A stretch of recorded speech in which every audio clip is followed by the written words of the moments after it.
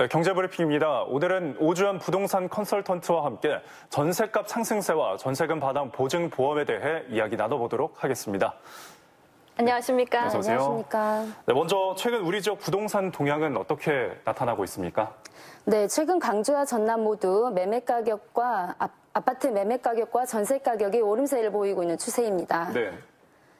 매매 가격에 육박할 정도로 높은 전세금은 세입자들에게는 큰 부담이 될 수밖에 없는데요. 거기에 대출 규제로 인해 대출까지 받기 어려워지다 보니 요즘에는 안정적인 거주가 가능하고 초기 자금 부담이 적은 기업형 아파트로 눈길을 돌리고 있는 추세입니다. 네. 네.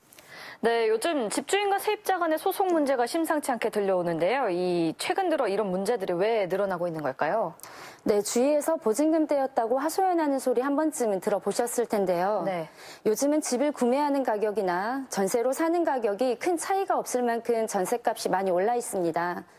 집주인 입장에서는 전세금을 돌려줄 때 대출을 받아서 줘야 되는 입장이고 세입자 입장에서는 목돈이 들어가 있다 보니 혹시나 보증금 떼일까 전전긍긍하는 게 사실인데요. 하지만 대출 규제로 인해 대출이 어려워지고 경기 또한 어려워지다 보니 집주인이 돈을 구하기가 어려워지면서 이런 문제들이 소송으로까지 이어지고 있는 것으로 보입니다. 네. 네, 그렇다면 이 세입자들이 전세금을 조금 더 안전하게 지킬 수 있는 방법은 없을까요?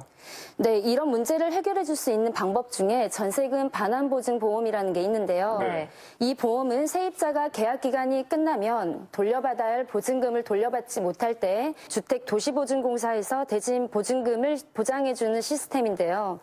예전에는 까다로웠던 절차가 다소 간편해지면서 최근 가입하는 사람들이 많아지고 있다고 합니다. 전입신고를 하고 확정일자를 받게 되면 소액 임차인에 해당이 되는데요. 이때 광주광역시의 경우 보증금이 6천만 원 이하일 때 2천만 원까지 보장받을 수 있었다면 전세금 반환보증보험 같은 경우는 보증금 전액을 돌려받을 수 있다 보니 복잡하게 소송까지 가는 불상사를 대비하기에 좋은 방법인 것 같습니다. 네. 어, 이 보험에 관심을 갖는 분들이 많으실 것 같은데 이 가입은 어떻게 하는 건가요? 네, 일단 주택도시보증공사 홈페이지를 통해서 가입이 가능한 지점을 찾고 직접 방문을 하셔도 되고요. 요새는 PC와 모바일을 통해서도 쉽게 가입이 가능하다고 합니다. 그리고 위탁을 받은 은행에서도 업무를 보고 있기 때문에 업무가 가능한 은행을 통해서 자세한 안내를 받아볼 수 있고 위탁 공인중개사 사무소에서도 가입이 가능하다고 하니 참고해 보시면 좋을 것 같습니다. 네. 네, 마지막으로 이 보험에 가입을 원하는 분들이 참고하실 만한 그런 사항들이 있을까요?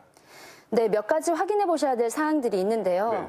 먼저 집에 살기 시작한 날로부터 10개월 안에 보장이 된다고 하는데 이때에도 임대차 계약 기간이 1년 미만인 경우에는 5개월 이내에서 보장이 된다고 합니다.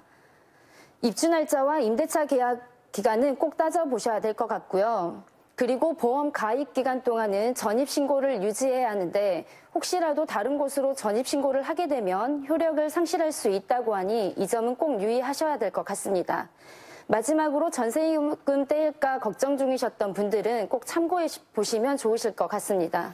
네, 지금까지 오주연 부동산 컨설턴트와 함께 이야기 나눠봤습니다. 오늘 말씀 감사합니다. 네, 감사합니다.